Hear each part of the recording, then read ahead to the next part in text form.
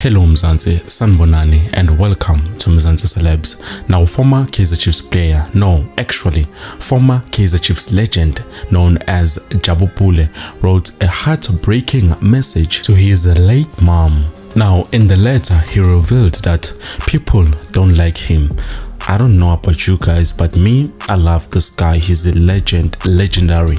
So I love this guy. I don't know who are the people who are not uh, loving this guy who is Jabu Pule Mahlangu. In the letter, he wrote about people assassinating his character. Let me just read what he wrote.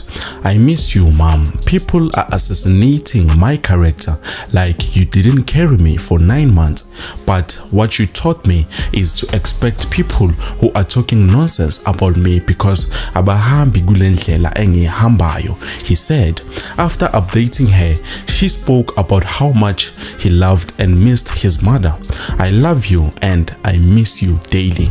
Rest in peace mom he finished his letter. And after he shared his letter some fans took to the comment section to show their respect and show support and also to continue wishing her to rest peacefully.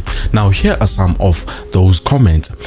Luka, my brother, hang in there about do it for us who still takes a great inspiration from you. Love you forever.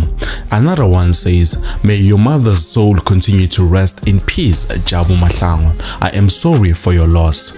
Now, the last one says, No worries, Jabu. Your mother will continue to rest in peace. Be strong and make her proud, man. Now, that's it for now, guys. Thank you so much for watching. I will see you soon with something new. Now, before you leave, make sure to watch this next video right here